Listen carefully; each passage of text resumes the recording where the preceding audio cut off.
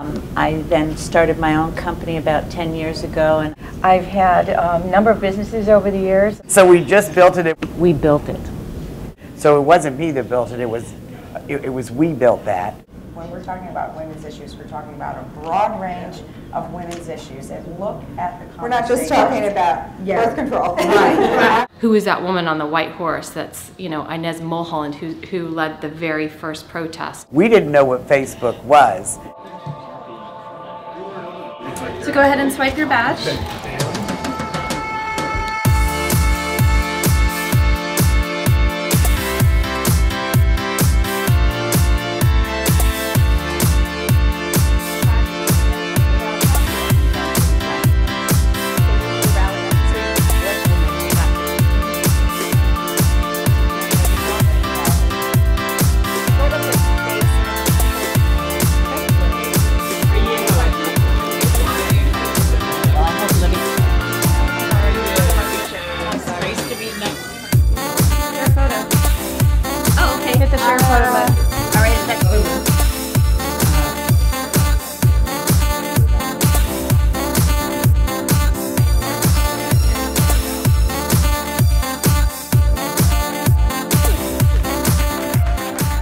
The sisterhood is quite strong.